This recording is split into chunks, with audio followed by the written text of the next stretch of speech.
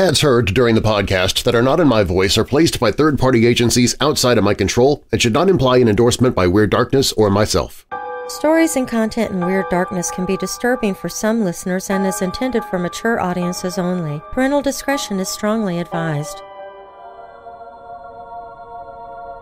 One Sunday morning in April 1943, during the dark days of World War II, four teenage boys made a terrifying discovery that would baffle the police and remain a mystery for over 70 years. The boys were searching for birds' nests at Hagley Woods, a private estate near Birmingham in England's Midlands. Climbing up an ancient old wych elm tree, 15-year-old Bob Farmer saw something truly terrible. Looking down the hollowed-out trunk, Farmer noticed a strange object staring back at him from the dark interior. The teenager was horrified when he realized it was a human skull. I'm Darren Marlar, and this is Weird Darkness.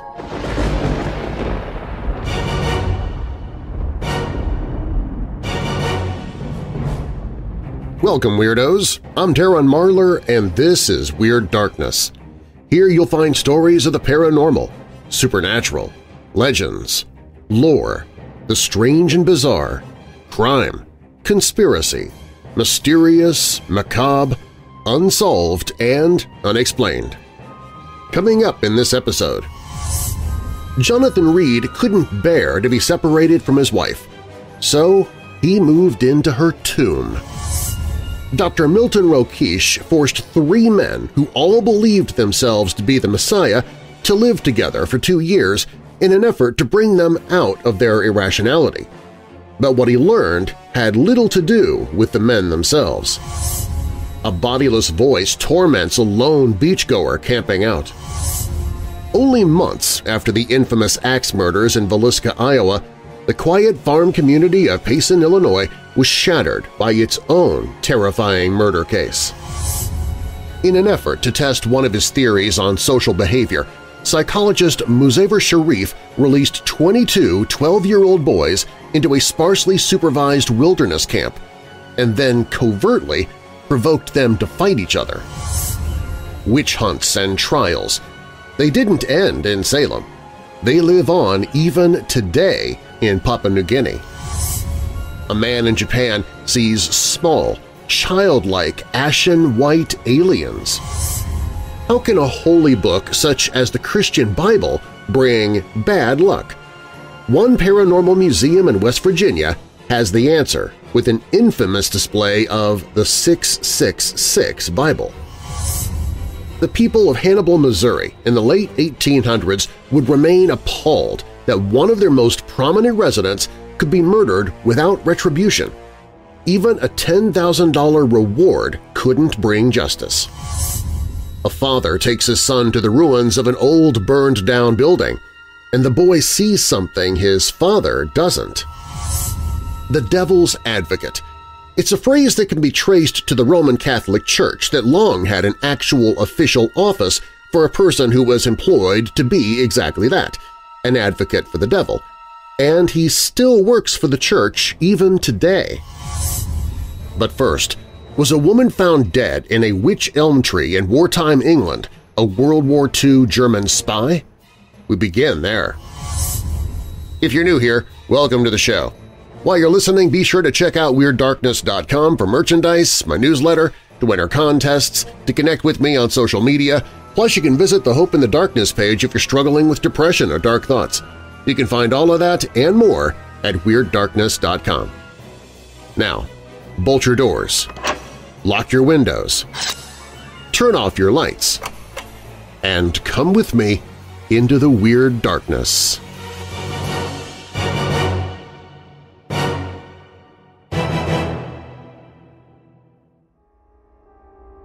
Looking down into the hollow trunk of the wych elm, the boys saw a human skull. A clump of hair hung off the remaining flesh on the forehead, and two crooked teeth gaped out of the mouth. After the boys had a good look at their horrific find, they put it back in the tree and left the woods. They agreed amongst themselves not to tell anyone about their discovery. They were trespassing in those woods, poaching no less. If they told the police, they could be in big trouble. But one of the boys was so upset by what he saw, he told his father, and the police were soon called to the area. What they found inside the old tree trunk was bizarre. The skeleton of a young woman minus one of her hands. A piece of taffeta was stuffed in her mouth. Some scraps of clothes with the labels cut out, battered shoes, and a gold ring were all found in the tree with the skeleton. Nearby were the bones of the woman's hand, scattered next to the tree.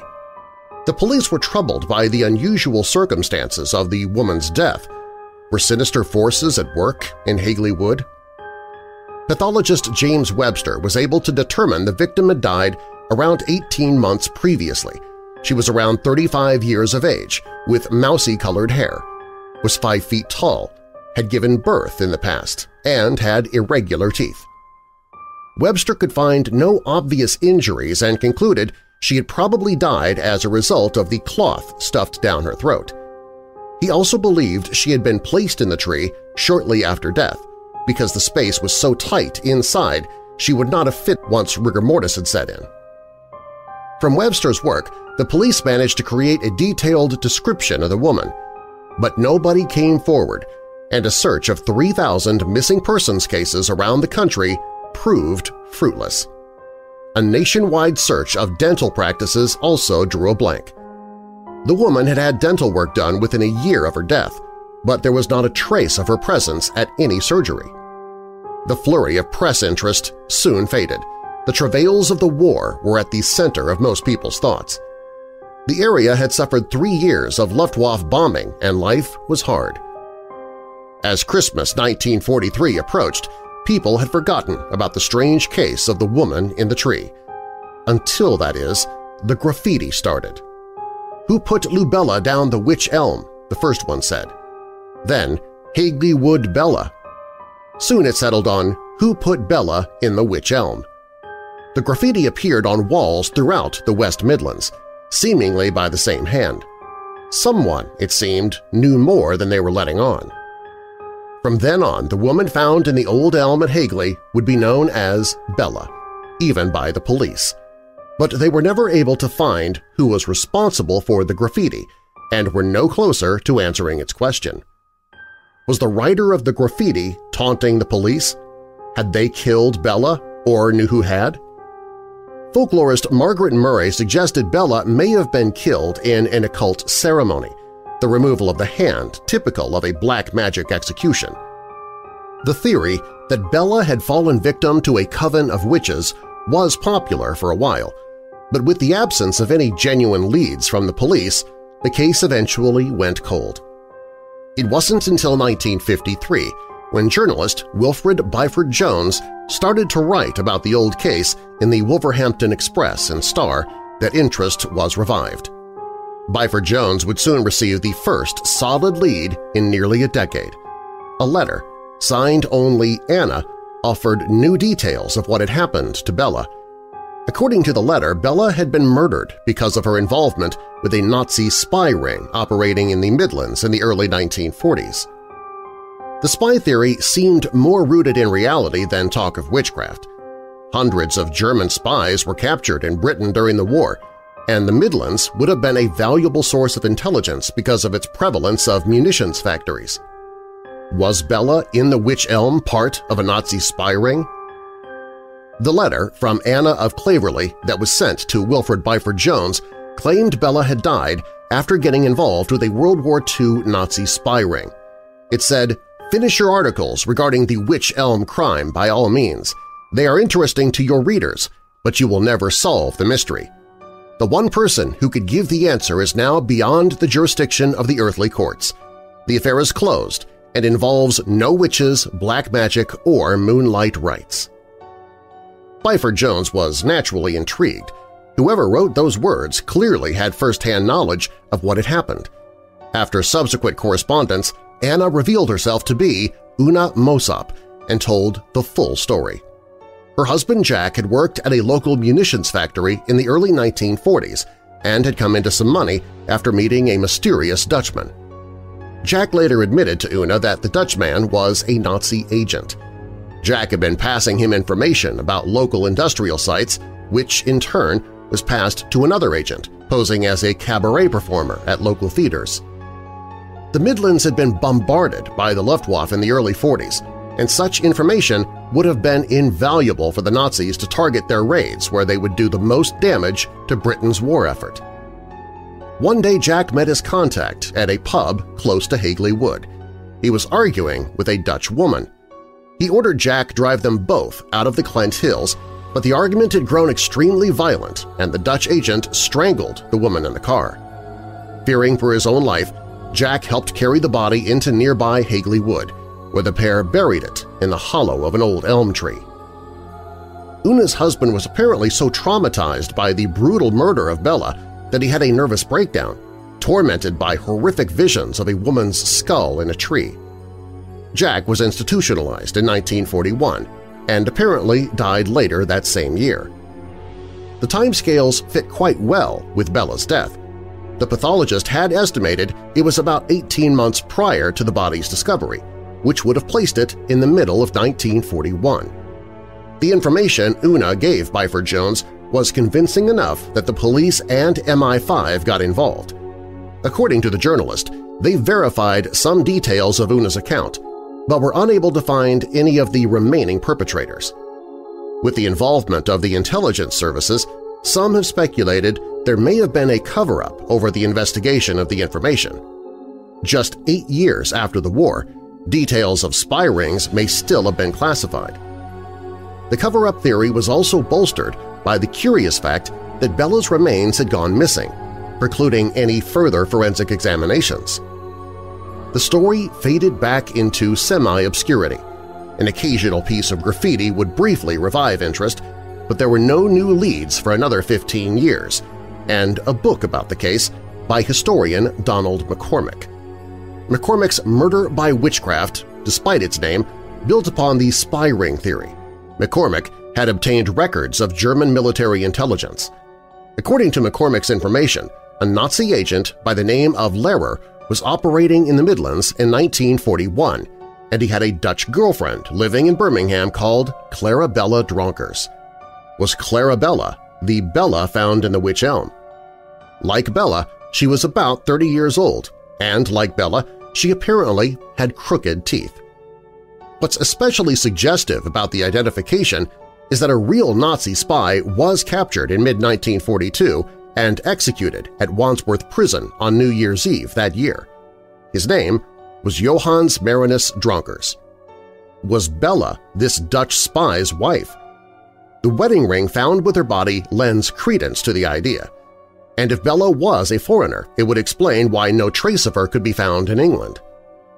It's possible that some kind of love triangle had developed among the agents, or that Bella had grown loose-lipped and risked revealing their existence to the British authorities. Whilst the exact nature of the operation and how this tangle of names and relationships fit together remains unclear, the notion that Bella was involved in some way with a spy ring seems quite convincing. Further tidbits support the idea. There were several reports in 1940 and 1941 of the Home Guard being alerted to possible agents parachuting into the area around Clent Hill and Hagley Wood.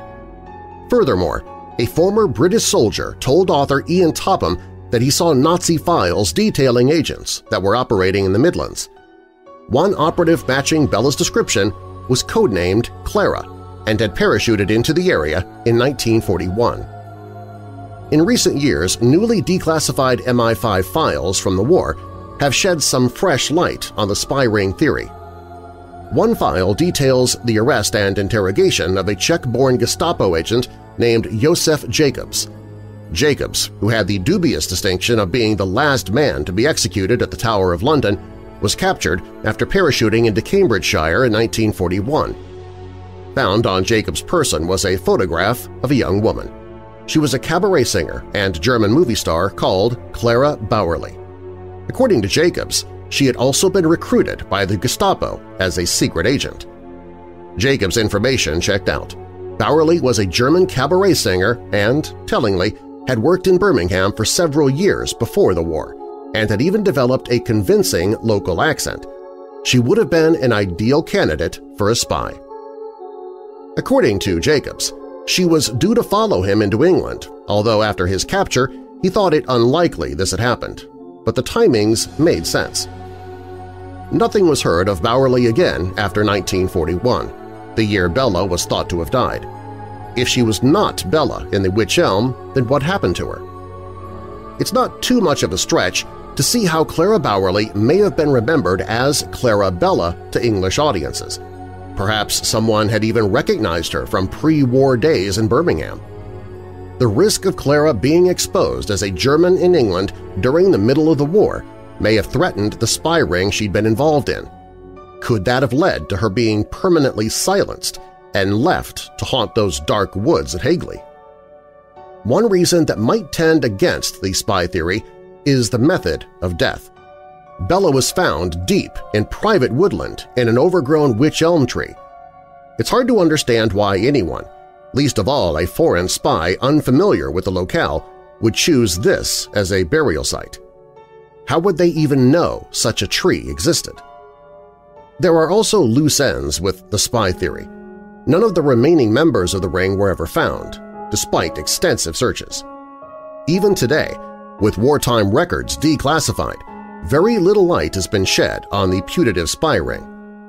Recently discovered MI5 documents have prompted the theory that Bella may have been Josef Jacobs' girlfriend, Clara Bauerle, but this idea has some significant flaws.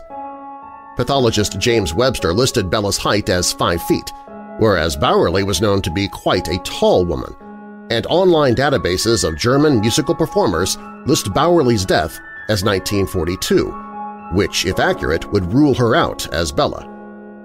Other less exotic theories have been suggested over the years.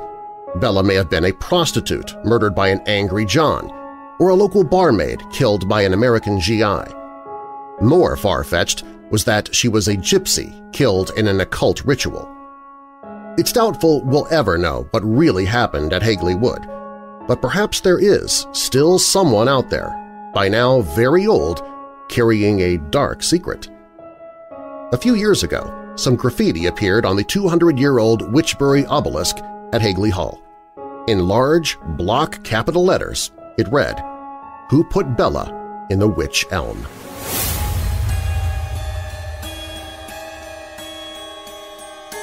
Up next, Jonathan Reed couldn't bear to be separated from his wife, so he moved into her tomb. Dr. Milton Rokeach forced three men who all believed themselves to be the Messiah to live together for two years in an effort to bring them out of their irrationality. And a bodiless voice torments a lone beachgoer camping out. These stories and more when Weird Darkness returns.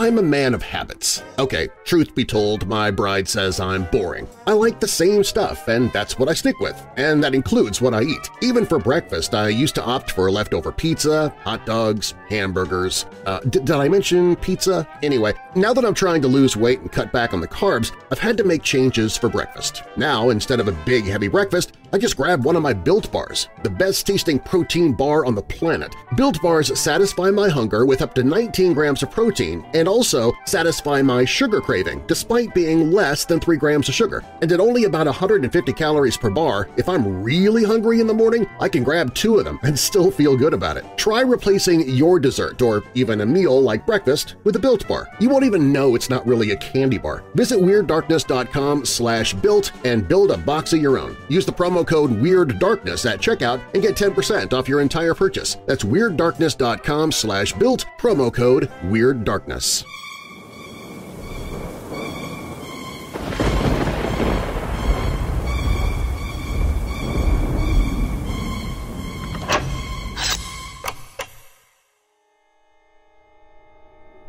It's common practice to reserve a plot next to your loved one's grave in anticipation of your own death. But Jonathan Reed took it one step further. The retired merchant was devastated when his beloved wife, Mary E. Gold Reed, died in 1893. After Mary's internment in her father's family vault on March 19th of that year, Jonathan visited regularly, a little too often in the opinion of his father-in-law. When Mary's father died in 1895, Reed was free to visit her tomb to his heart's content. So he had her casket transferred to another vault in the Whispering Grove section of the cemetery. There he put an empty casket next to hers, a placeholder for his inevitable end. And it is here that Jonathan Reed's tale takes a surprising twist. Unable to bear being away from his wife's corpse, Jonathan moved in to Mary's mausoleum. He brought furniture and a wood stove and cheered up the place with mementos from Mary's life, her paintings, her unfinished knitting, and the family's pet parrot, which upon the death of the bird was stuffed. Jonathan even took his meals inside the crypt.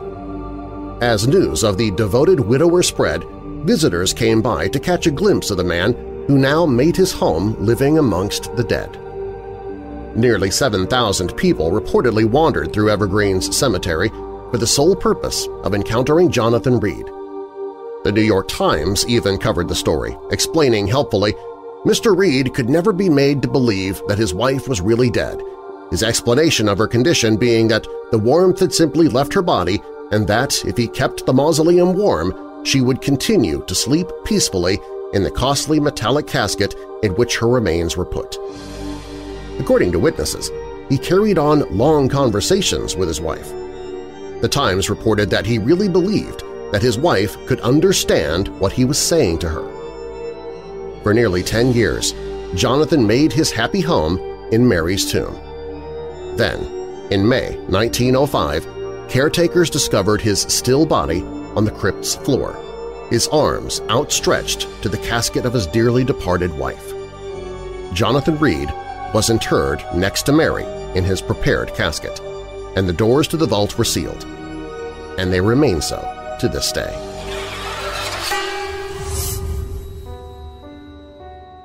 In 1959, three schizophrenic patients who all identified themselves as Christ were brought together at a psychiatric hospital in Ypsilanti, Michigan.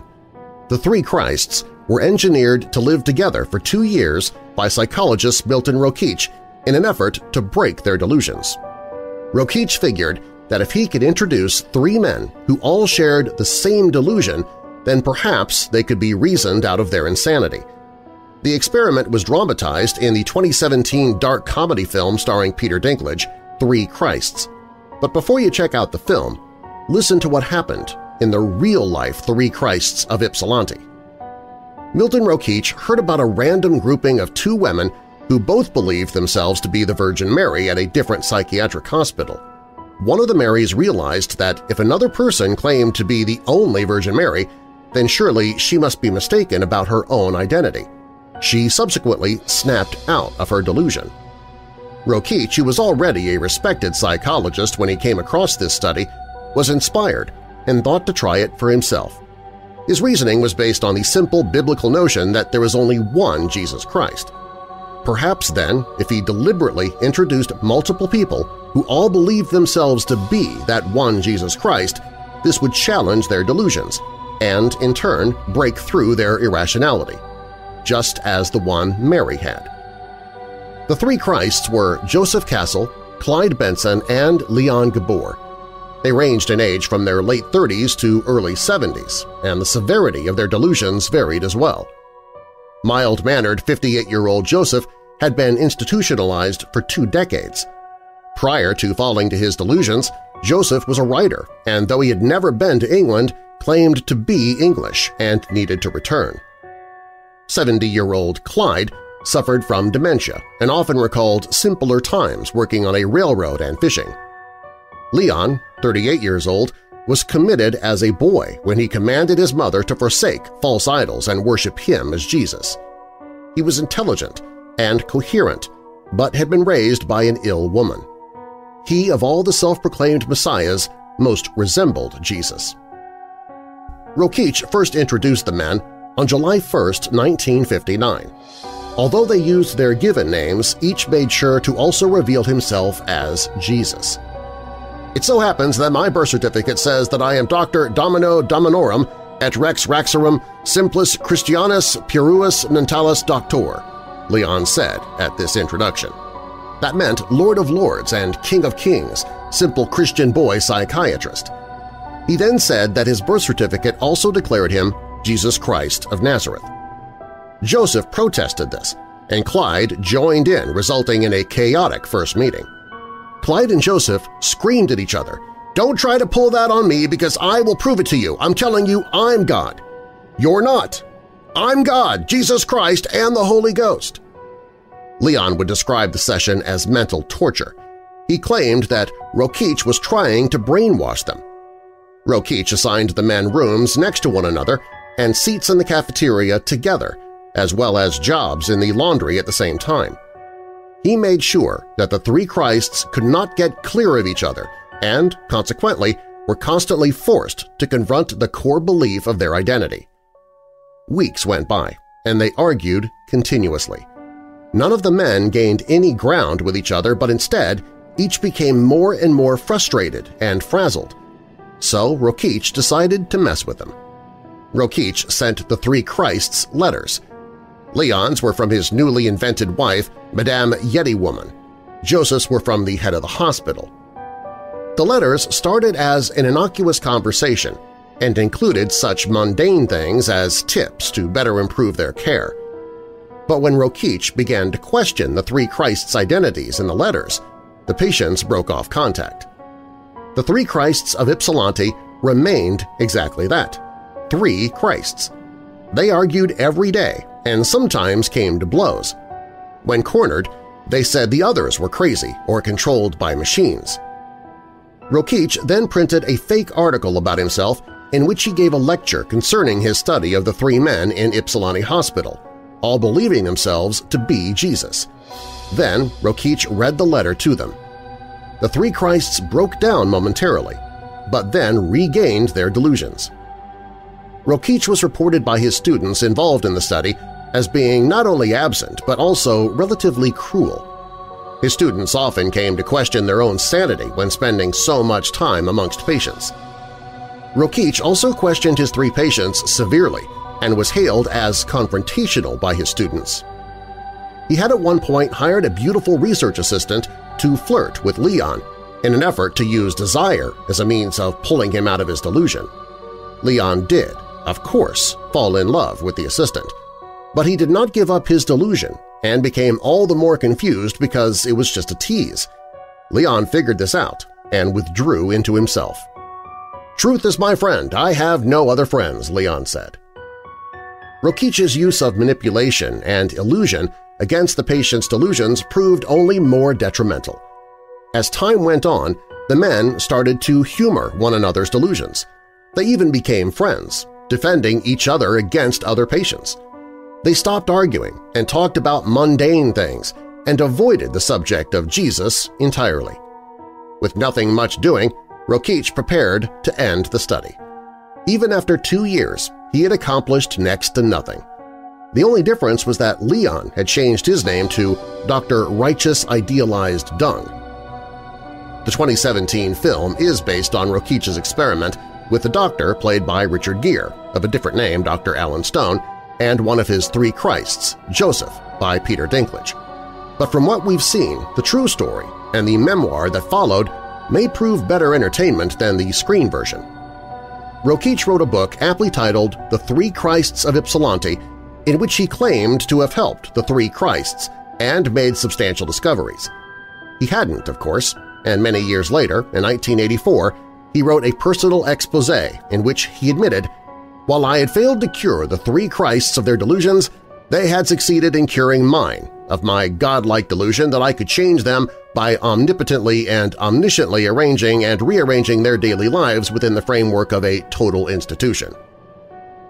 What Rokeach failed to accomplish within his patients, overcoming their delusion, he was able to realize was a condition he suffered from himself, as he himself had been under the false belief of omnipotence while at Ypsilanti.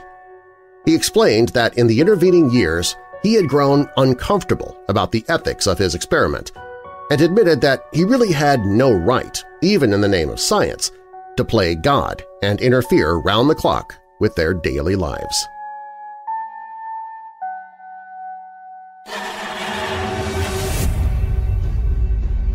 This happened 20 years ago when I was 22. It possibly involves a known ghost, the Santa Barbara Community College Lady in White.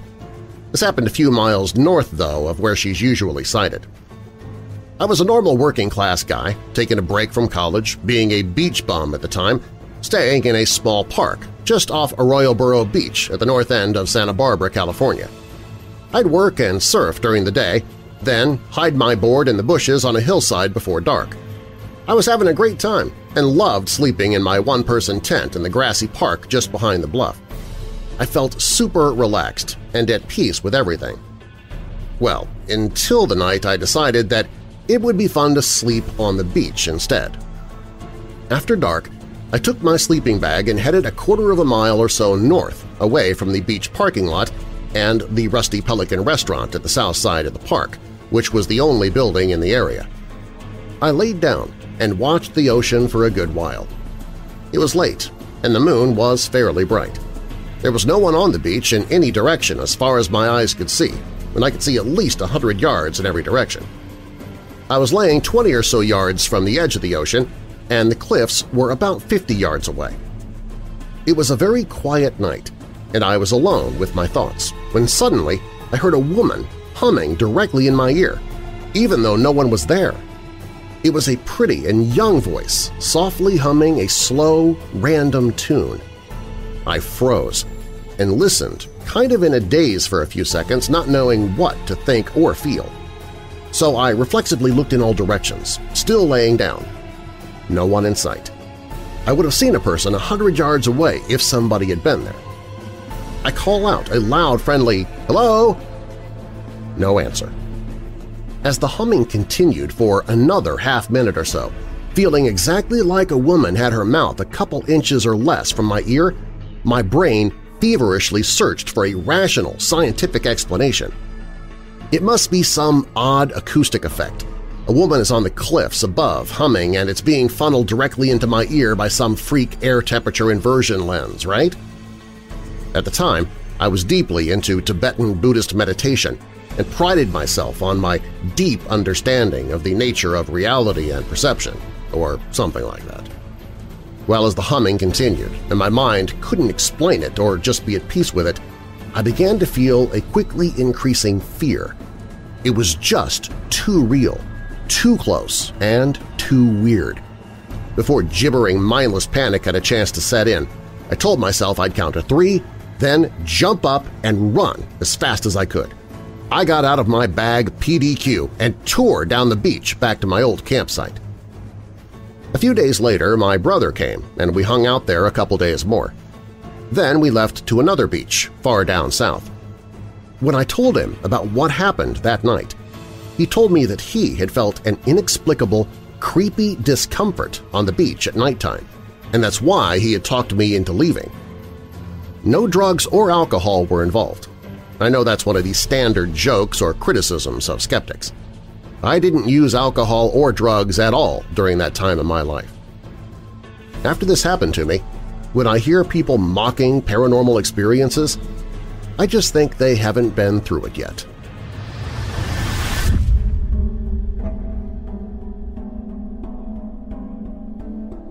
When Weird Darkness returns, only months after the infamous axe murders in Villisca, Iowa, the quiet farm community of Payson, Illinois was shattered by its own terrifying murder case.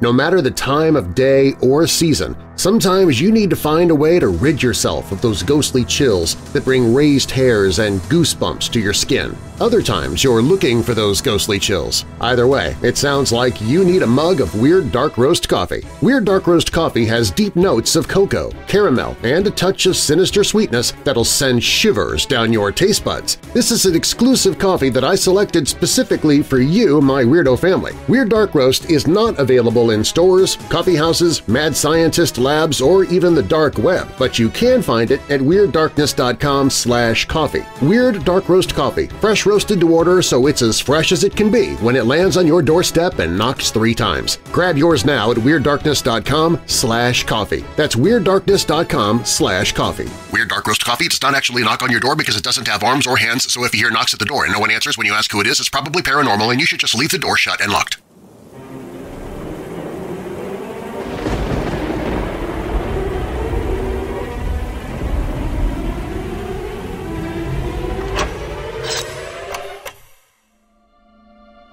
In the early morning hours of Sunday, September 29, 1912, brutal murders were committed in a lonely house near Payson, Illinois, a quiet farm community east of Quincy.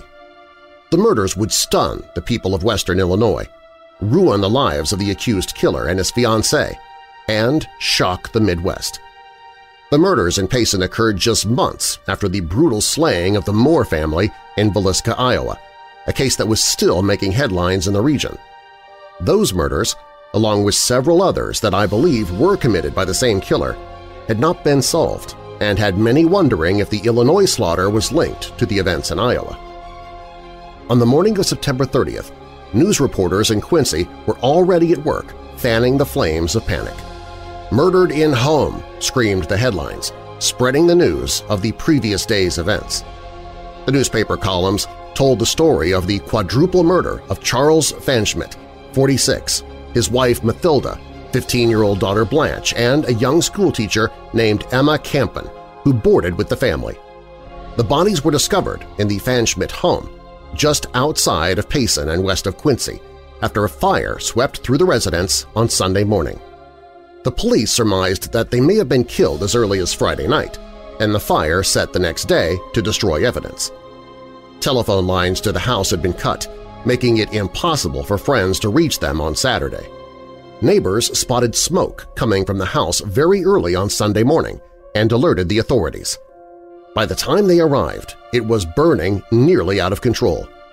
The fire nearly destroyed the house, and when the metal roof was removed, the bodies of three women were found lying on blood-soaked mattresses in what would have been the upstairs bedrooms of the house. The roof had preserved the corpses well enough to reveal that the women had been bludgeoned with an axe while they were sleeping. The bodies were those of Matilda and Blanche Pfanschmidt and Emma Kaempen, the young woman who was a schoolteacher. Another body, charred almost beyond recognition, was discovered in the ruins of the cellar. The flesh and bones of the head, arms, shoulder, upper trunk, legs, and half of the lower trunk were gone. Only one thigh remained. A doctor later testified that the body had been dismembered with knives and a saw before it was burned. It was eventually determined that the body belonged to Charles Pfanschmidt. Near the body, in the cellar, was an axe head with what was later determined to be human blood baked on it from the intense heat of the flames. The handle of the axe had been completely burned away. Police officers and sheriff's deputies immediately descended on the scene gathering law enforcement personnel and armed citizens to search the countryside for the killer. Bloodhounds were brought to the scene in an effort to trace the murderer who, it was believed, had driven to the home in a buggy on Saturday night, a few hours before the fire was discovered. The Iowa murders were still fresh in everyone's minds. Newspaper reports stated that the police were seeing the degenerate who had perpetrated similar axe murders in Iowa and Colorado recently. They also noted that the crime was similar to the horror in Villisca. This new murder got the attention of the Iowa Attorney General, and he asked the Burns Detective Agency to send a man to look into it. C.W. Toby, who had worked the Villisca case for a few weeks in July and August before going on to manage the agency's Chicago office, assigned himself to the investigation.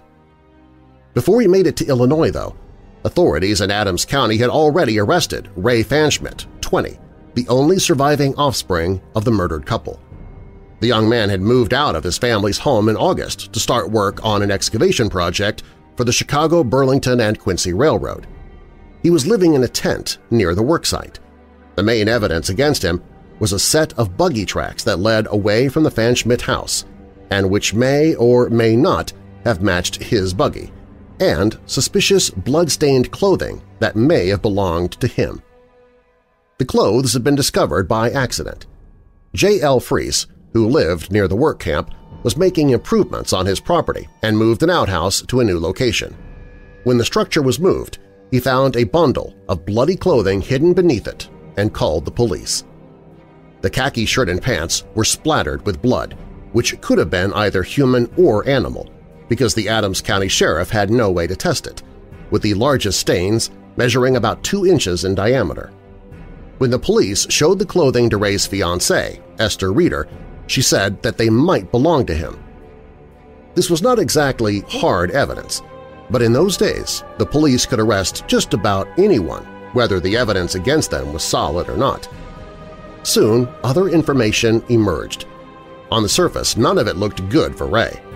Charles Pfanschmidt had owned a considerable amount of real estate, and his wife had owned large tracts of land that she had inherited from her father. Upon the deaths of the older couple, their land and money was to go to their children, meaning that Ray stood to gain a large inheritance after the murders. It was known that he had money problems. In the weeks prior to the murders, Charles received two notes from his bank informing him that his son's accounts were overdrawn. Charles had allegedly complained to a friend about Ray's spending habits. That was all the motive that prosecutors needed to pin the crime on Ray. Detective Toby soon arrived from Chicago. He was supposed to see if he thought that the murders in Villisca and Payson were connected, and he talked to a few people and visited Ray Pfanschmidt in jail. After meeting with the Burns detective, Pfanschmidt hired Toby as an expert witness to testify that the murders could have been committed by the roving axe maniac who had slaughtered people in Colorado, Kansas, Illinois, and Iowa. Toby, considered an expert in the other cases, was supposed to provide an element of reasonable doubt for the defense. In the end, it worked, but it started off badly for Ray. At the initial trial in March 1913, Ray was tried and convicted for the murder of his sister. It was common practice in multiple murder cases to charge the defendant with only one death. That way, if he was exonerated, he could be tried again for another, allowing the prosecutor to skirt past the double jeopardy rule. Ray was found guilty and was headed for the gallows in October. The evidence against him was circumstantial, but Ray was perceived as being greedy and spoiled. It didn't help his prospects when his grandfather testified in court about his constant demands for money.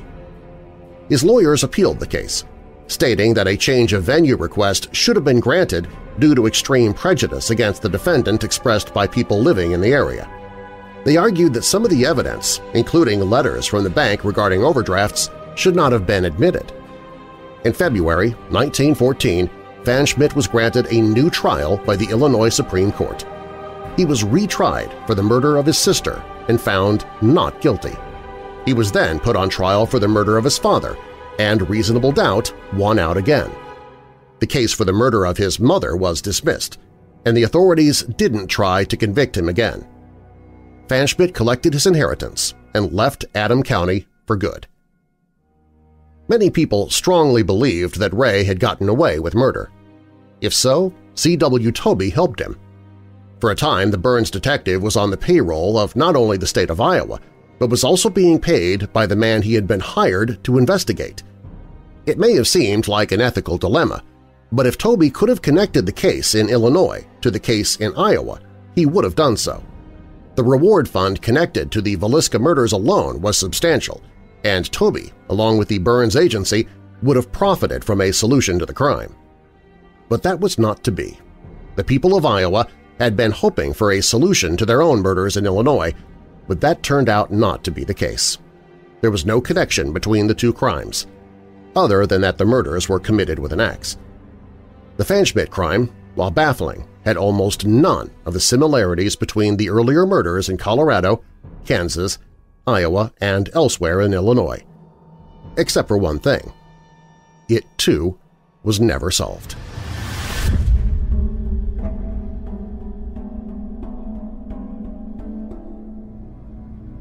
Today, we often say, he's playing the devil's advocate, or he's the devil's advocate. The expression describes someone who argues against a point for the purpose of testing the argument for flaws or weaknesses. Basically, a devil's advocate presents facts that are unfavorable to the candidate. A person who acts like a devil's advocate doesn't necessarily have to have a different opinion. He or she simply presents the concept of arguing against something without being committed to a contrary view.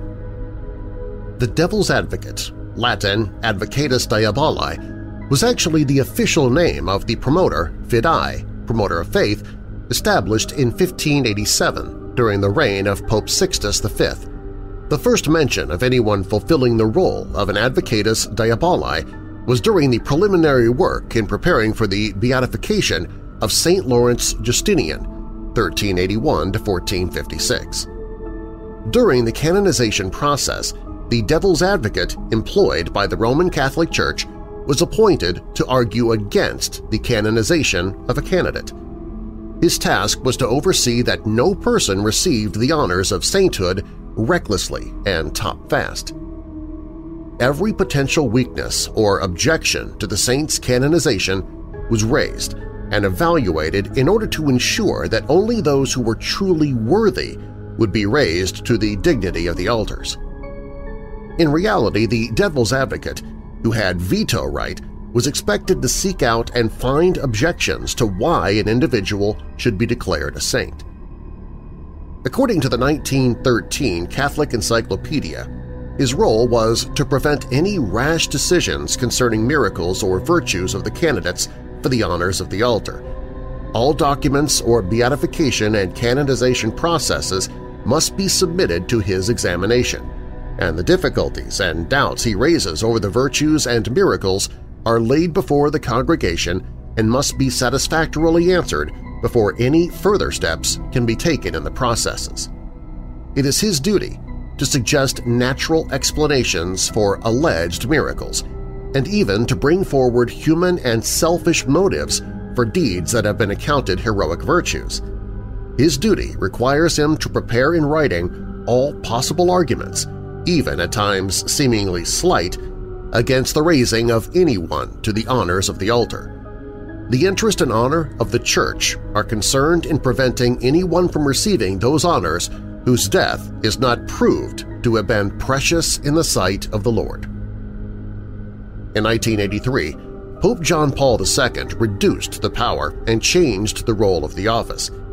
Many people think this means the devil's advocate position was removed and there is no longer a need for someone to determine the requirement for sainthood. What really happened is that Pope John Paul II did make great changes, but the devil's advocate is still present within the Church. Only now his name is Promoter of the Faith. It is simply a new title and wording of what has become known as the devil's advocate. The Promoter of the Faith doesn't have veto right, and unlike the devil's advocate, he doesn't provide a list of objections and complaints against candidates for sainthood. Instead, he provides a report of his findings for evaluation. By removing the rights of the devil's advocate, the canonization process transformed from a trial to a meeting during which church representatives discuss whether a person should become a saint or not. In the summer of 1954, world-renowned social psychologist Muzafer Sherif toted 22 boys to the foothills of the Sans Bois Mountains of southeastern Oklahoma. There, in Robbers Cave State Park, he intended to conduct an unprecedented social experiment that involved pitting sparsely supervised 12-year-old boys against each other in the Oklahoma wilderness. This was the Robbers Cave Experiment, and its startling outcome would inspire the harrowing book Lord of the Flies just a year later. Nearly six decades since, experts dubbed the experiment unethical, as it appears to have left lasting mental damage on its subjects. Sherif was born in the Ottoman Empire and won a slot to study psychology at Harvard. He quickly realized that lab research on rats was too confining and he wanted a more complex subject – humans fascination with social psychology had, with reason, reached a peak following World War II, and so Sherif was able to secure a grant from the Rockefeller Foundation. His initial experiment required that 11-year-old boys be sent under the guise of a summer camp to Middle Grove Park in upstate New York. There, Sherif would split the boys into teams, pit them against each other for prizes, and then try to reunite them using a series of frustrating and life-threatening events, like a forest fire. Neither the parents nor the boys obviously knew this was a study. The Robbers Cave experiment, then, was the second of Sherif's, as his study at Middle Grove in the summer of 1953 had in his mind not accomplished the outcome he had hoped for. He was looking for confirmation of his realistic conflict theory, which stated that groups would compete for limited resources even against their friends and allies, but come together in the face of a common disaster regardless of those alliances. The boys at Middle Grove had not cooperated with this theory. They stayed friends despite all hardships, even when Sherif had his staffers steal their clothes, raise their tents, and smash their toys, all the while framing other campers. The experiment ended in a drunken brawl between one of the leading social psychologists in the world, Muzafer Sherif, and his research assistants as his experiment had not cooperated with him. Sherif resolved to try again with the Robbers Cave experiment. Sherif still had money from the grant from his first study, but after his failure felt that his reputation was at risk. This time he would keep the boys separated from the beginning so that they couldn't form the pesky friendships which had thwarted the study at Middle Grove. The groups were the Rattlers and the Eagles. The two groups were unaware of each other for the first two days. They bonded with their own group through standard camp activities like hiking and swimming. Once the groups seemed to be solidly formed, Sherif and his team instituted the competition phase of the Robbers Cave experiment. The groups were introduced to each other and a series of rivalrous activities were scheduled. There would be a tug-of-war, baseball, and so forth. Prizes would also be awarded, trophies at stake, and there would be no consolation prizes for the losers – the Rattlers declared they would be the winners and monopolized the baseball field in order to practice. They put up their flag on the field and told the Eagles they had better not touch it. The staffers began to interfere more aggressively in the Robbers Cave experiment. They deliberately caused conflict and once arranged for one group to be late for lunch so that the other group would eat all the food. At first, the conflict between the boys was verbal, with just taunts and name-calling. But under the careful guidance of Sherif and his staff, it soon became physical. The Eagles were supplied with matches, and they burned their rival's flag. The Rattlers retaliated, invaded the Eagles' cabin and wrecked it and stole their belongings. The conflict escalated to violence so that the groups had to be separated for two days. Now that the kids hated each other, Sherif decided it was time to vindicate his theory and bring them back together. So he shut off the drinking water. The Rattlers and Eagles set off to find the water tank which was on a mountain. The only water they had was what was in their canteens. When they arrived at the tank, hot and thirsty, the groups had already begun to merge. The campers found the valve to the tank, but it was covered with rocks, so they joined together and removed the rocks as quickly as possible. This pleased Sherif immensely, as it was in direct agreement with his theory. The groups would fight over limited resources but band together when faced with a common threat.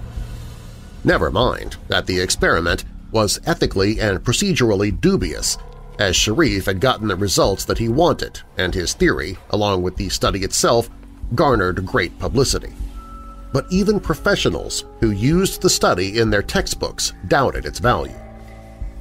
Six decades of development in the field have led modern psychologists to criticize the study.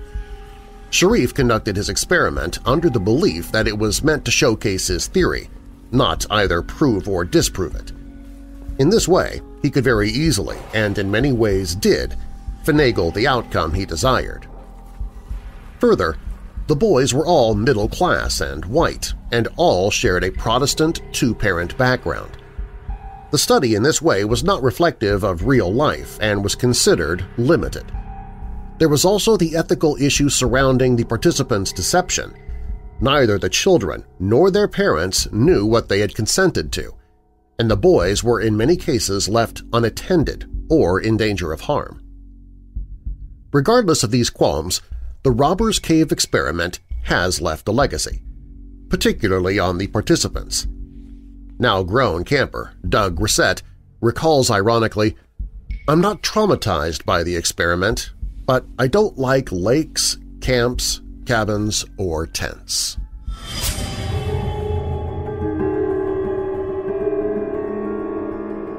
Up next, witch hunts and trials.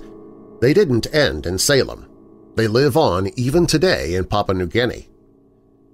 A man in Japan sees small, childlike ashen-white aliens. And how could a holy book such as the Christian Bible bring bad luck? These stories and more when Weird Darkness returns.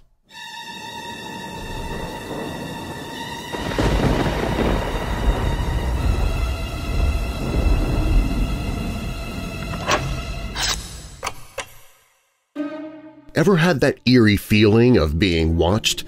There's no one there, at least nobody you can see anyway, but still, you can feel those ghostly eyes upon you, the watchers in the shadows waiting for their moment to scare you, haunt you, or something even worse. That is the theme for these carefully selected creepy true stories of the paranormal designed to have you wondering if you too are being watched from the shadows. This all-new collection includes stories about the Hat Man, Black-Eyed Kids, Shadow People, Poltergeists, UFOs, the premonitions of a dying man, forest demons, and much more, all absolutely true, all chosen by the master of the paranormal himself, G. Michael Vasey.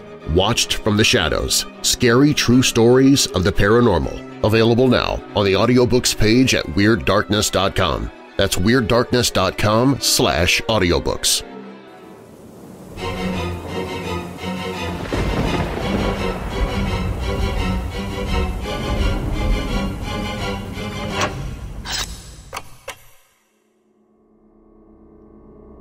Papua New Guinea is one of the few places in the world where literal witch hunts still take place on a regular basis. Witch hunts continue to be practiced, even though engaging in a witch hunt was declared a capital offense by the government in 2013. This leads to the question of why these witch hunts still occur. The answer is probably related to the fact that in Papua New Guinea, witchcraft, sorcery, and malevolent spiritual beings are still relevant, and the effects of industrialization have created more problems that can be blamed on witches. The highlands of Papua New Guinea are very rugged and treacherous. As a result, they are among the most isolated places in the world. Some parts of the region were not explored by Westerners until as late as the 1930s. In contrast, societies of the lowlands of Papua New Guinea have been in contact with the outside world for centuries. One result of this is that the cultural development of the highlands people has been largely independent of the surrounding region. Agriculture, for example, was locally developed in the highlands around 7,000 years ago, rather than being introduced from Southeast Asia. With more time, the highlands may have become another cradle of civilization. Many cultures of the highlands of Papua New Guinea have only recently been exposed to modern scientific explanations for diseases, and it is worth remembering that we live in a mechanistic universe where things, good or bad, sometimes happen just by chance or by nature, rather than by the intentional actions of an intelligent agent, such as a witch. The fact that most witch hunts tend to occur in the highlands demonstrates that belief in witches is still strong in that region. Most of the people of Papua New Guinea traditionally believed that the world was full of natural and ancestral spirits. This belief persists today in many parts of the island nation. An example from one particular culture is belief in a race of sky beings which can be seen in the night as faint lights in the forest. These creatures are said to be man-eaters and accomplices to witches. In most of ancient Papua New Guinea, if someone got sick, died, or even lost livestock to illness or predation, it was commonly suspected to be due to witchcraft or sorcery. The underlying spiritualist worldview behind this has not gone away. It still influences the beliefs and practices of many Papua New Guinean natives both in the highlands and in the lowlands. Because of this, it does not seem too far-fetched to many that Papua New Guinea natives blame a person getting sick on an evil spirit or a witch. This is true regardless of education level and has nothing to do with intelligence. Witch hunts are not only still common in Papua New Guinea, but they appear to be increasing in frequency compared to previous generations. For example, witch hunts are no longer restricted to the rural highlands, but have spread to towns and cities. The response to accused witches is also predictably severe. People suspected of being witches are under threat of being tortured and killed. In an infamous case in 2013, a 20-year-old mother was burned alive. Her daughter was later accused of witchcraft and tortured as well, though she survived and was rescued. The government of Papua New Guinea has officially recognized this as a serious problem and has taken steps to address violence committed against accused witches. For example, the government has recently made it law that killings connected to a witch hunt will be counted as murder. Witches are one explanation for why things go wrong in the world and why there is loss, illness, and death. One possible reason for the increasing frequency of witch hunts in Papua New Guinea is that more health and societal problems have emerged in recent years that can be blamed on witches. Papua New Guinea is currently going through rapid industrialization, which is leading to problems that previous generations of Papua New Guineans did not face to the same degree. Industrialization and capitalism, for example, bring problems such as unemployment and financial insecurity due to a fluctuating economy. Furthermore, global travel and trade have brought more diseases than previous generations faced, such as the spread of HIV. Modern problems, such as rising real estate prices, are also often blamed on witchcraft alongside illnesses or death. When things go wrong, humans will first look for explanations that make sense and that are most familiar in their cultural context. Beliefs about sorcery and witchcraft are deeply ingrained in the cultures of Papua New Guinea. Many societies in Papua New Guinea, especially the highland societies, have only been recently exposed, historically speaking, to alternative explanations for why things go wrong in the world. It is also true that the problems many of the Papua New Guinean people face have increased in recent years because of industrialization. These two factors are probably part of why witch hunts persist in the region. Humans are slow to give up tradition, and they tend to hold on to their customs and beliefs more strongly when life gets difficult. This includes traditions pertaining to witchcraft.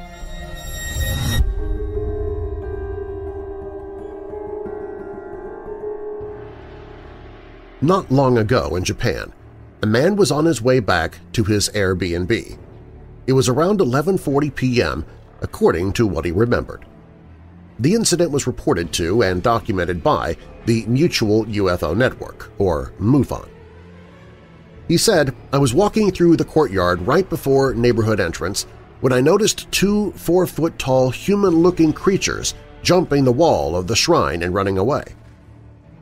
These small-sized creatures seemed to resemble that of a human child, but they were not human at all. According to what the man had to say, they were too small to be children of any age. However, the shape of their bodies were proportional to that of a human child, comparing height. He went on to say that their bodies were white color by appearance. They were far whiter than any Caucasian person would be. Other notable details included these creatures having very skinny legs and arms. Their heads had pointy ears, and their eyes were big black triangles. These short, humanoid aliens very much seem to be like black-eyed children. However, they may well have been something else entirely. One other thing that separates them from other encounters is the way they moved. According to what this man said, they were able to run with their arms behind them. After a while, they wandered over behind the corner of a wall. When the man approached, he said he made eye contact with one of them. Whatever it was seemed to glance back at him curiously. While at the shrine in Kyoto, the alarm went off but no actual sound was heard. Perhaps whatever these things were somehow could control all the sounds around them. In this one way, they have avoided being detected so easily. Being terrified, the man explained that he didn't want to get too close to them. Not long after, he lost sight of them as they turned past a corner. If these were aliens, then they are from another time and place. They were here for a reason. Perhaps to simply observe us, or they were collecting something as another possibility. Based upon the description, they seem to not be tall whites known as Pleiadians. These blond Nordic extraterrestrials are thought to roam the Earth already. Pleiadians are believed to be concerned about Earth and its very future. One theory is these could be helpers of the Pleiadians or another alien race entirely. This encounter is based upon one man's testimony. It's interesting and perhaps someone else out there has experienced something similar. Another man reported seeing a humanoid creature in a forest outside Kyoto previously as well. Alien visitation seems to be increasing in recent times. Perhaps something big is ready to happen soon in our world.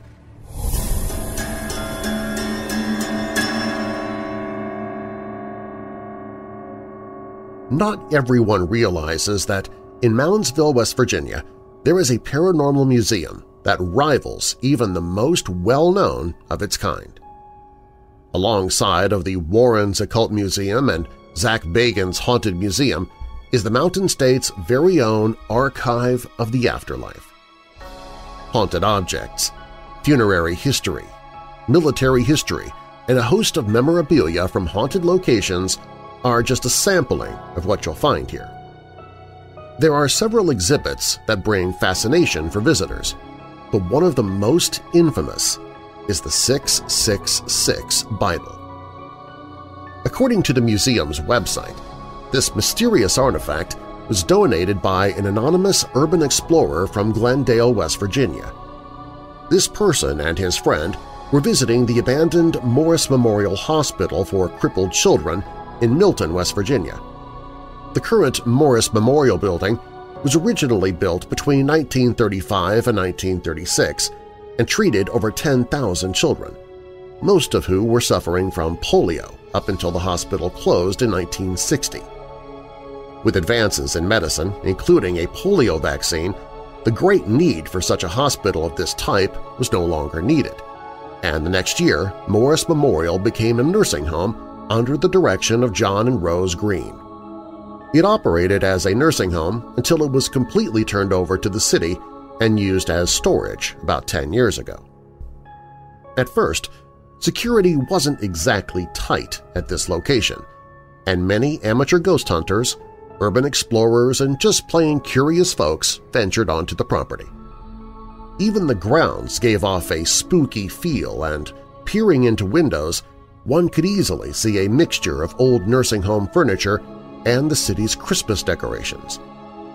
Unfortunately, vandalism was a big issue, with some people going as far as to breaking windows and doors and tearing apart the inside of the old hospital. At any given time, access to the hospital was easily obtained through one of those busted windows or doors.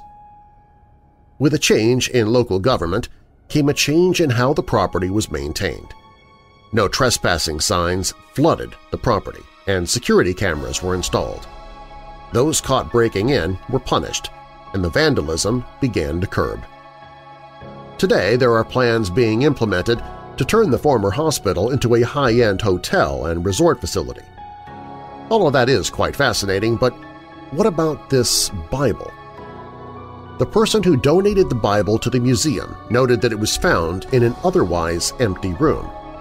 The rather large book was opened up to the pages 666 and 667, and the pages were being held in place by a small angel figurine. Even creepier, the top of page 667 appears to have been scorched.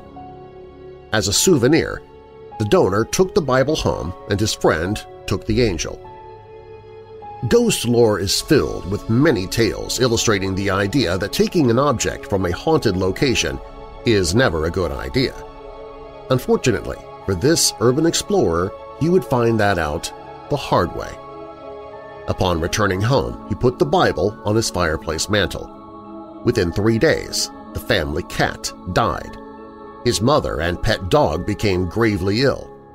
He heard his name being whispered, only to find no living person anywhere within earshot. Things reached a spooky crescendo when three full-bodied shadow people were observed in the backyard.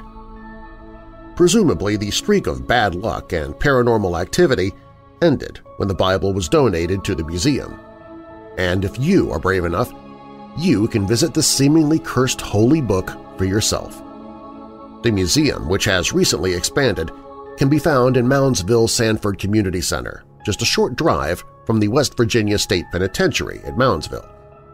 The museum is a great deal at $3 per person or $5 per couple, and you could spend hours browsing just the collection itself. But if you're a little more eager, there are investigation opportunities and paranormal conventions and events held throughout the year. Now, I wonder if anything similar ever happened with that angel figurine. When Weird Darkness returns, the people of Hannibal, Missouri in the late 1800s would be appalled that one of their most prominent residents could be murdered without retribution, even after posting a $10,000 reward. And a father takes his son to the ruins of an old burned-down building, and the boy sees something his father doesn't. These stories are up next.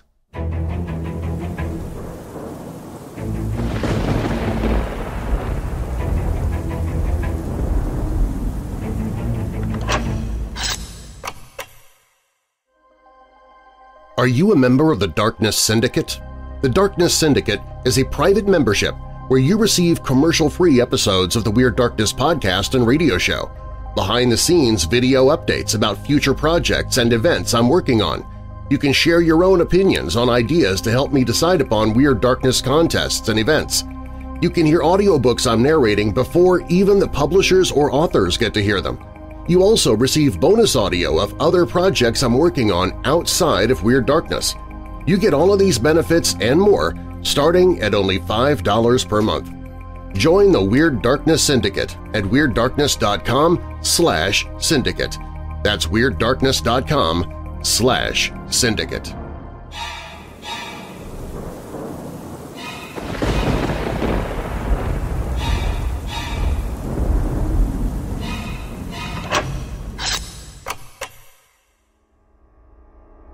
Amos and Fanny Stillwell returned home from a party at a neighbor's house on December 29, 1889. It was a small gathering of Hannibal, Missouri's high society, and the Stillwells were among the wealthiest and most prominent guests.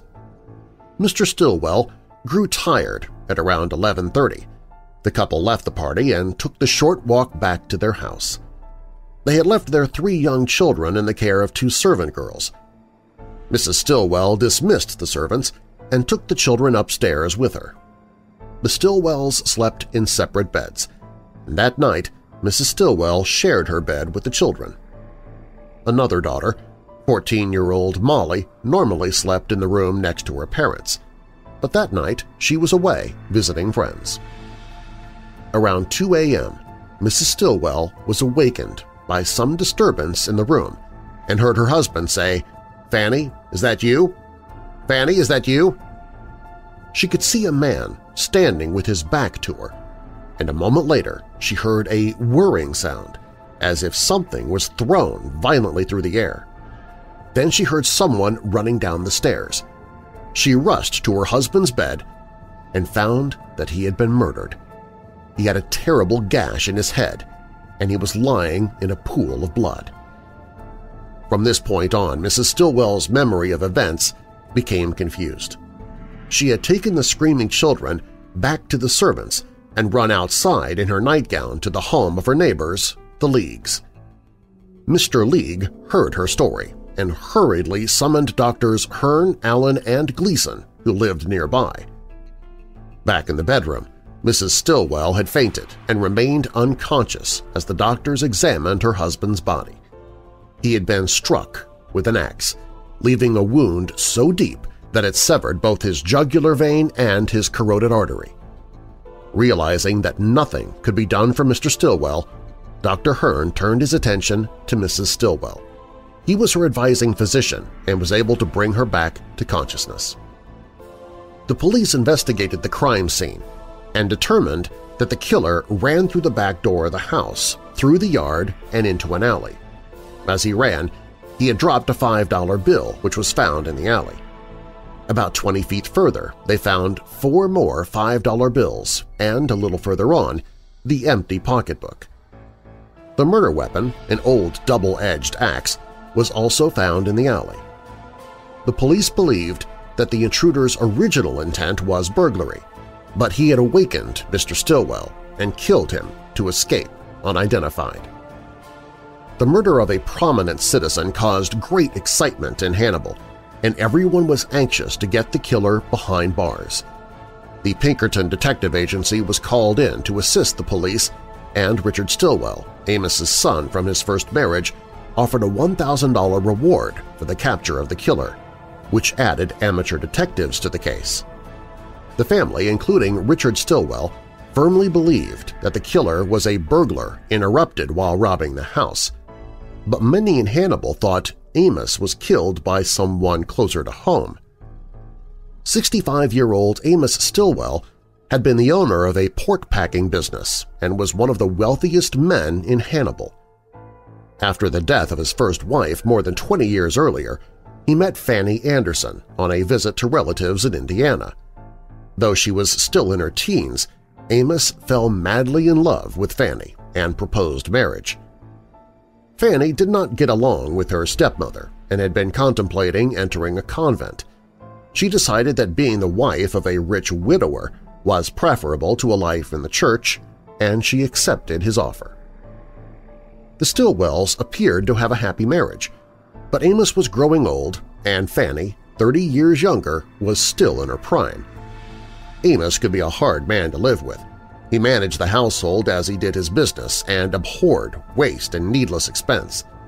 He was a vegetarian and a health enthusiast and forced Fanny to sleep in a heavy cotton nightgown, believing the modern lacy styles to be unhealthy. Though Amos did not believe in physicians, Fanny often consulted Dr. Joseph C. Hearn, who lived just around the block from the Stillwells, so often in fact that many believed they were having an affair. After the murder, the predominant belief outside of official circles was that Dr. Hearn was involved in the killing. In spite of public opinion, Richard Stillwell, with his money and influence, was driving the investigation, and he held to the burglar theory. Detectives focused on the African-American community, and the first arrests in the case, two weeks after the murder, were a black man named George Gibson and his mistress, Alice Ward. Police would not say what evidence they had, but the couple was rigidly examined by two Pinkerton men. On January 28th, a black man named George Dixon and his white mistress were arrested by Pinkertons for unlawful cohabitation. He was questioned about the murder because he was seen in the city that night with an unusually large amount of money. There was no evidence to hold any of these suspects, and they were soon released. With a lack of useful clues to follow, the Pinkertons retired from the investigation and the case turned cold. Then, the following December, almost a year to the day from the murder, Fanny Stillwell and Dr. Joseph C. Hearn were married. Interest in the case was renewed, and rumors of Dr. Hearn's involvement resurfaced. John E. Stillwell, a nephew of the murdered man, tried to force a thorough investigation by the grand jury, which included Dr. Hearn, but the prosecuting attorney refused to pursue any theory but robbery. The grand jury did not return any indictments, and the widow, now called Fanny Hearn, forced the retirement of John Stillwell from the pork-packing company. Richard Stillwell raised the reward to $10,000, and over the next four years a few arrests briefly seemed promising, but there was no significant progress in the case. The grand jury met at least five more times, and, after considering the evidence handed down, no indictments. The Hearns left Hannibal and moved to San Diego, California, where Dr. Hearn opened up a medical practice. Then, in August 1894, Fanny Hearn filed for divorce, charging cruelty and failure to provide. The decision had been mutual, and Dr. Hearn did not contest the charge, though privately said the cause was incompatibility of temperament. After the divorce, Fanny returned to her previously married name of Stillwell. News of the divorce, even as far away as California, raised memories of the Stillwell murder. An article in the San Francisco Chronicle connecting Dr. Hearn to the murder angered the doctor so much that he sued the paper for libel, asking for $200,000 in damages. In July 1895, Dr. Hearn traveled back to Hannibal along with his attorneys and attorneys for the Chronicle to take depositions. It was not a good time for Dr. Hearn to return to Hannibal. Richard Stillwell had finally abandoned the burglar theory and had come to accept what the rest of the town had been saying since the beginning. His father was murdered by Dr. Hearn and Fanny. He had gathered evidence on his own and canceled the reward so as not to influence the trial when he took the case to court. Then he volunteered to be deposed in support of the San Francisco Chronicle.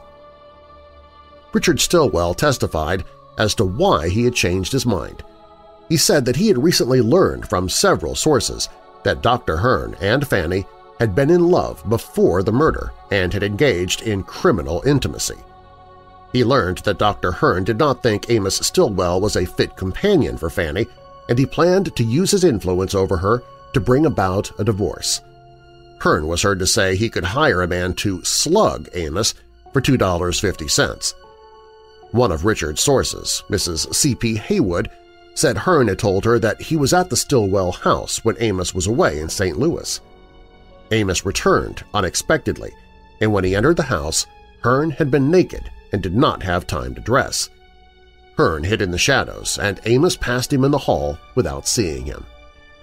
Hearn told Mrs. Haywood that if he'd been caught, he would have shot Amos. Everyone would think it was a burglar. No one ever suspects doctors or ministers. Few days later, the grand jury reconvened, and this time they heard testimony from all of the witnesses who had testified for the San Francisco Chronicle, including Richard Stillwell, who had obtained a deposition from his source Mrs. C.P. Haywood. There were other bits of incriminating evidence the jury had not heard before. Molly Stillwell had never slept away from home before the night of the murder. Witnesses who saw the body that night believed it had been moved before they arrived. Several witnesses saw Fanny in a fancy modern nightgown after the murder. Jim Abbey, former detective for Missouri Pacific Railroad, found a plain cotton nightgown with bloodstains on the sleeves in an outhouse vault on the Stillwell property. The grand jury indicted both Dr. Hearn and Fanny Stillwell for first-degree murder. They were arrested and held for trial. The defendants were to be tried separately. Dr. Hearn's trial began in Bowling Green, Missouri on December 9, 1895. The people of Hannibal would finally have the justice they had craved for for seven long years.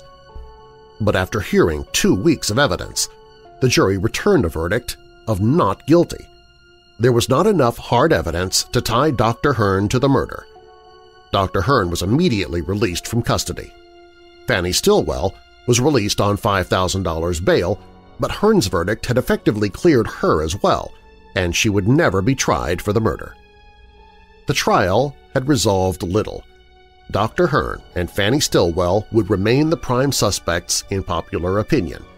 The people of Hannibal would remain appalled that one of their most prominent residents could be murdered without retribution. Dr. Hearn continued his suit against the San Francisco Chronicle. Seven months and two trials later, he won his case and was awarded $10,000 in damages.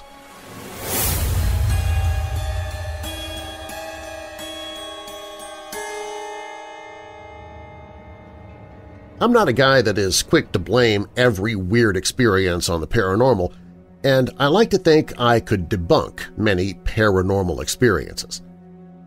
My personal story goes back 20-plus years to a time when I had a young family. We didn't have a lot of money, but we did own a small house in a small city in Massachusetts. It wasn't big, but it was ours, and we tried to fix it up how we could. I'd been wanting to build a little brick walk that would lead to my backyard. I didn't really have the money to go buy bricks, so I decided to go to the site where the remnants of an old factory that had burned down to the ground 40 years earlier. There were old bricks strewn all around from the walls that had collapsed during the fire. The word around town was the grounds at the old factory had become so contaminated with chemicals that they had worked with during its heyday, it would have been very costly to remediate the ground, so it was left undisturbed for years. My son, who was around four years old at the time, asked to go with me to get the bricks, I said, you can come, but stay in the car because there's a lot of glass and nails all around and I don't want you to get hurt, so I want you to stay in the car while I get the bricks. We drove to the factory and into an old gravel driveway. I must admit, even in the light of day on a Saturday morning, it had a creepy feel to the place. It was the first time I'd been there, other than driving past this place every day. I pulled over to an area where I thought I'd have the least chance of getting a flat tire. I told my son to sit tight and I'd be back in a few minutes. I wasn't going far, and was only 75 feet from the car, so I was always within earshot if he needed me. It seemed as soon as I got out of the car, I had this uncomfortable feeling, like I'm not supposed to be here. So I walked my way over to some bricks on the ground and started collecting. Many were broken, and there weren't as many full bricks as I had hoped, but picked what I could. As I'm collecting bricks, I'm becoming more and more uncomfortable being there. There are no houses in the area, but I kept looking around to see if anyone was there. But I see no one. It had finally gotten to the point where I'd become so uncomfortable I decided to load the truck with the bricks I'd collected and would make another trip some other time. After loading the bricks in the car, I shut the trunk, and the heavy load made the car squat in the back, and I hoped I wouldn't bottom out the dirt drive on the way out. As I got into the car, my son turns to me and asks, what did that man want? I looked at him and said, what man? Being we were completely alone. The man that was talking to you, the man with the big belly, he replied. I looked at him completely bewildered. The man that was just talking to you, he said, in a determined way. I asked if he could see him now. He said he wasn't there anymore. As I'm driving out, I kept looking in my rearview mirror and trying to scan the area for this man with the big, big belly. I was completely creeped out at this point and just wanted to leave that place. The 30-foot driveway felt like it was a mile long. I told my son I didn't see the man, and maybe he told me that I was trespassing on private property, which I was. When I got home, I told my wife the very creepy story our son just told me. She just looked at me, and the story creeped her out as well. I later researched the factory and the fire that brought it down, but there were no deaths involved. The site was left undisturbed for 10 or more years before the city came in and cleaned up the site and built a brand new Department of Public Works facility. During those last 10 years, before the city cleared out all the debris, I never returned. I had no desire to go back and try to see the man with the big, big belly. To this day, I am absolutely certain we were alone out there that morning, at least in the physical form. My son's persistence and reaction about the man talking to me left me unable to explain the experience, but I remember it like it was yesterday. I have heard and believe that a child's eyes are more open to spiritual things and tend to grow out of this stage as they get older.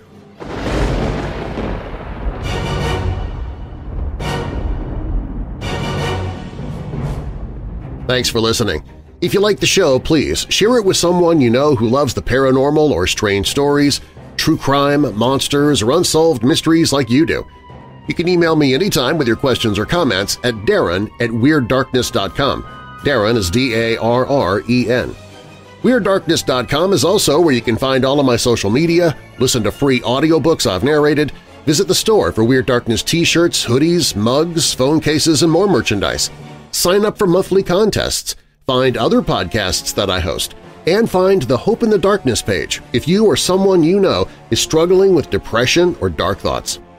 Also on the website, if you have a true paranormal or creepy tale to tell, you can click on Tell Your Story. You can find all of that and more at WeirdDarkness.com. All stories in Weird Darkness are purported to be true unless stated otherwise, and you can find source links or links to the authors in the show notes. Till Death Do Us Part was written by Jessica Ferri for the lineup. Was Bella in the Wych Elm a World War II German spy was posted at The Unredacted. The Pfanschmidt Murders is by Troy Taylor for American Hauntings, Inc. Spirit Voice on the Beach was written by Burgraph38 and posted at YourGhostStories.com. The Three Christs of Ypsilanti was written by Tig Spearman for All That's Interesting. Also, The Robber Cave Experiment was by Tig Spearman for All That's Interesting. Papua New Guinea Witchcraft was written by Caleb Strom for Ancient Origins. The Devil's Advocate was written by Ellen Lloyd for Ancient Pages. Childlike Aliens is by Terry Larch for Freaklore.com. The 666 Bible is by Teresa at Teresa's Haunted History of the Tri-State. The Stillwell Murder is by Robert Wilhelm for Murder by Gaslight. And The Old Factory Visit was written by Mike and posted at MyHauntedLife2.com. Weird Darkness is a production and trademark of Marlar House Productions.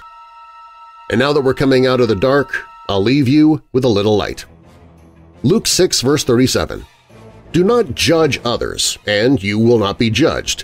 Do not condemn others, or it will all come back against you. Forgive others, and you will be forgiven.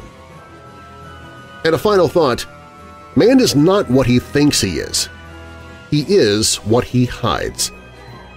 Andre Malraux I'm Darren Marlar. Thanks for joining me in the Weird Darkness.